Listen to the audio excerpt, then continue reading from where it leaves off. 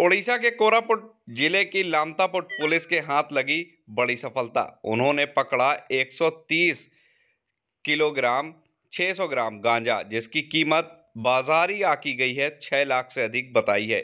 साथ में एक बोलेरो और दो लोगों को पकड़ा गया, जिनका नाम छोटू राम बिहार से और राजिया पासवान दिल्ली। पुलिस ने के होने के मुताबिक मलकानगिरी से लामतापुट लेकर बिहार चालान होता है यह गांजा। पुलिस को विशेष सूत्रों से पता चला कि पुलिस ने लामतापुट निकोत कोना गाँव चौक से पकड़ा और पुलिस दो दोषियों को केस नंबर ज़ीरो छः बटे इक्कीस के कोर्ट में चालान किया है।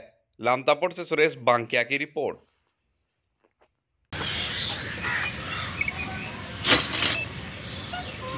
वीडियो चुनिंग ज़्यादा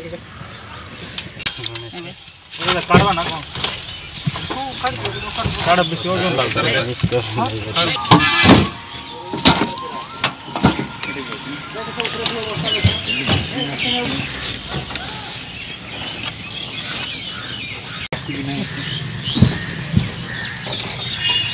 Bisa kelas tinggi. Second degree puri tinggi.